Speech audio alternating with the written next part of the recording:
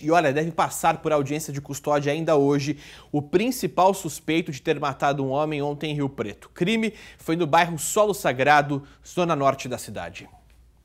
Aparecido Donizete da Silva, de 47 anos, foi encontrado na cama com cortes no rosto e no pulso. Segundo os vizinhos, um amigo dele estava na casa, sem roupas, e disse ter matado a vítima com um facão. Ele mora nesta casa sozinho.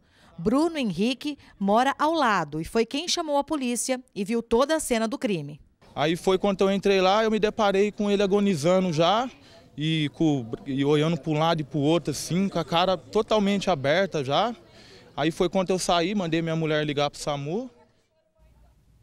É, uma situação começa agora, tem audiência de custódia, mas ao que tudo indica, ele deve ficar preso e ser transferido na sequência para a humanidade prisional da nossa região.